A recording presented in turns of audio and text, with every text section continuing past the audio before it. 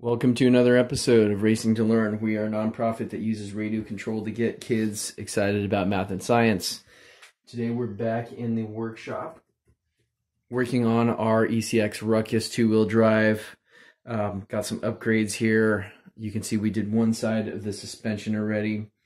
Uh, we just put in the, the ECX aluminum shock replacements here. These are a lot better than the stock ones. Um, I don't know if you guys can hear that or not, but basically one of these the things about the stock ones is that they leak oil fairly easily just due to their design. So you can see uh, the shock body is a little bit dirty because the oil's been seeping out. Uh, we did a uh, a refreshening of the the aluminum shocks that we had already. Uh, basically, just dumped out the fluid, cleaned them out, put in new fluid. Another thing that we did here was um, we switched the screw, uh, actually the the um, the shock end here, the rod end from the stock kind of plastic end with um, you know there's there's a little gray plastic insert that can rotate there. Let me get the camera to focus. Uh, we replaced it with uh, just the rod ends off of a Traxxas. Now these have metal pivots, which is a little bit nicer. Um, not necessarily sturdier. We we haven't we haven't had a stock rod end break on us, but we had them laying around, so we thought, hey, might be a good experiment to try on the the metal rod ends to, um, you know, to remove uh, some binding in the transmission uh, in in the uh, suspension here. Uh, we're running the RPM A arms on this, and um, basically the the stock is a or the shock is a stock drop in. Uh, one thing to note here, we we were going to switch over to the lowest suspension hole just to give it some more suspension um, travel, right? But uh, the shock will only work uh, on the middle one or the outer one. Just uh, actually didn't even try the outer one, but the middle one is where it is. That's where we put it back in, just because. Um, if you try to put it on that first one, the the shock cap actually gets in the way of the shock tower, so you can't do that. Um, to replace the shocks, you're the easiest way is to get a angled screwdriver like this if you have one, uh, or else you're gonna have to pull out probably your receiver or maybe even the servo saver, or you, know, you can get some sort of twisting extension on a screwdriver just to get at the screw here. All right, so we've got the angled screwdriver and just gotta get it to engage there on the back of the screw. Um, you'll probably also have to remove the shock tower and because it will likely get in the way here of the nut driver. Uh, actually, yeah, you could flex it a bit. Uh, it's still blocking it. Yeah, so it's just easier to get um, this bumper around this bumper with um, I forgot what is this uh two millimeter hex driver and we had uh, just put these up on the highest possible setting here to test fit our Proline body. Go ahead and pop this back off. Fits nicely through the Torment bumper, whereas the Ruckus bumper actually blocked the um, access to the hex heads there. All right, so let's give this another shot. Mm, go ahead and get the screwdriver in the back. And we can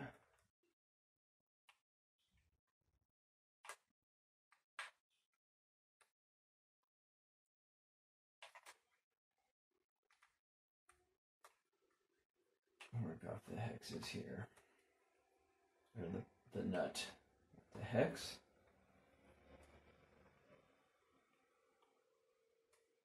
All right.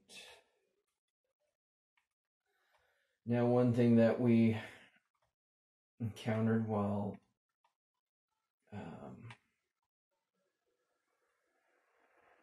putting in the longer screw for to go through that um, that Traxxas style metal rod end um, is that you know we also switched from a fine threaded uh, screw to a or from a coarse headed self tapping type screw um, to a fine headed one. And originally we wanted to go with the inner mounting hole for uh, in, uh, in, the RPM arm just to give it some more travel, but um, getting the screw started in that hole, the inner hole, proved difficult, uh, annoyingly difficult, probably because we were doing it at night too.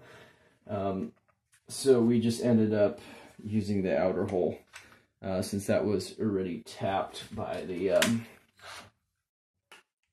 the self-tapping screw, coarse thread screw that was being used before. All right, so the old shock is now removed. We'll just keep it together with this coarse threaded screw, just in case we ever want to reuse that. Um, so we ended up going with a longer fine threaded, and I'll show you guys the difference here in case you don't know. So you look at those two screws in comparison, and you'll see a coarse thread versus a fine thread. So um, the, the fine threads are beneficial because those coarse threaded screws can sometimes work themselves loose over time, even in plastic. Whereas the fine threaded screws usually won't come out of plastic unless that plastic has been stripped. All right, so we're just going to take the stock screw, put it through the shock eyelet, and um, you'll notice that, let me put it through this way, you'll notice that um, the Traxxas rod ends have, one side is bigger than the other here, or flatter. See that flat spot there? All right, there we go. Let's get the camera to focus. So uh, we're just going to put that one uh, against the A arm, the, the, the bigger spot there. Um, probably doesn't matter a huge bunch either way, but that's just the convention that we're going to follow. Um, the rationale here is that it just gives you a little more surface area against that soft plastic, just spreading out the pressure against the soft plastic.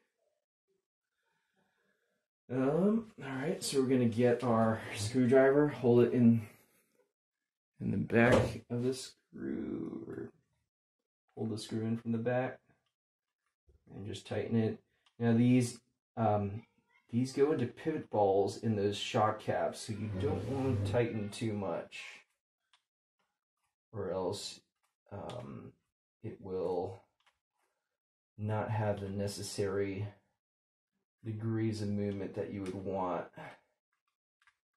So let me show you what I mean. So this, yeah, see how I can wiggle it back and forth a little bit? You want that pivot ball to be performing its its uh its action there. And I think I tightened it way too much on the other side, so I'm to loosen that a little bit.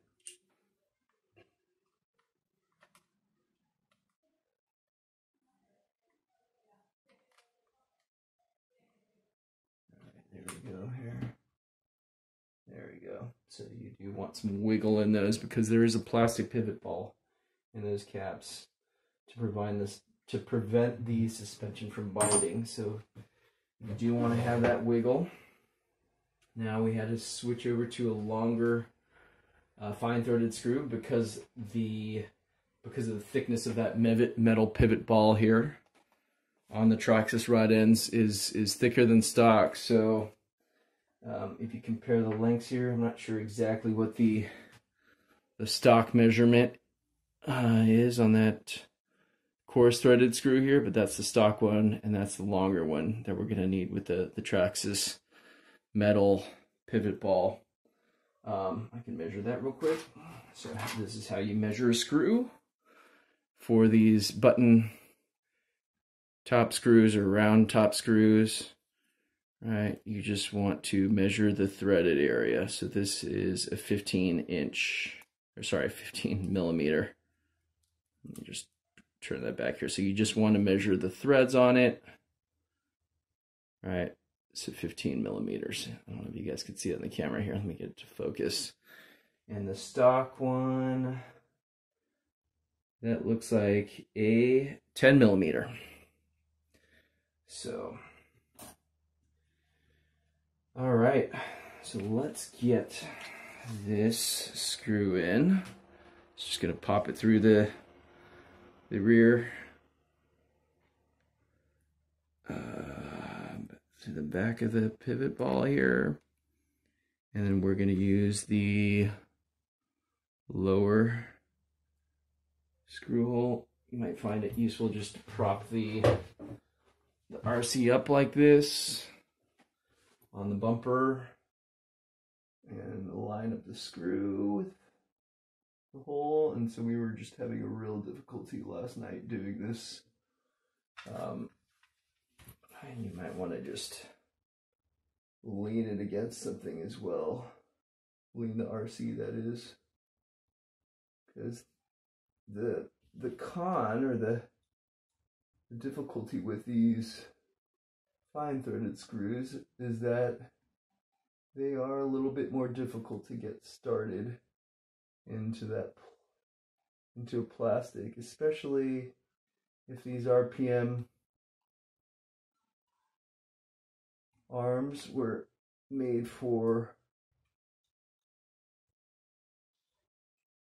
the uh, coarse threaded self tapping, and I'm even having a difficulty here.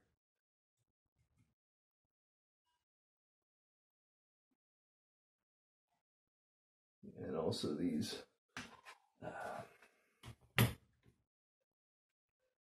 be a bit of a pain. Let me see, maybe I'll do uh, rest this up against my shoulder here.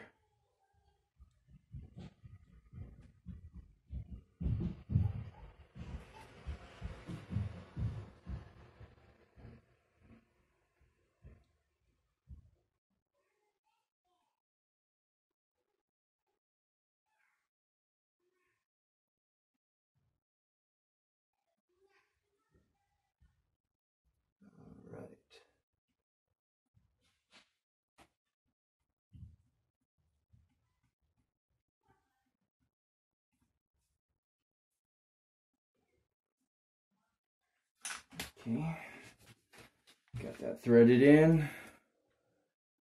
and it's sitting real nice there. So these are noticeably smoother than the stock plastic shocks. Big improvement there. So this is pretty much ready to go. We're just going to where was that screw? Oh, here we go. Just putting the round screw, second one back into the front bumper here. And uh, we'll go, go ahead and put the receiver box back on. I just wanted to show you all how to put in these, these upgraded shocks into the Ruckus slash Torment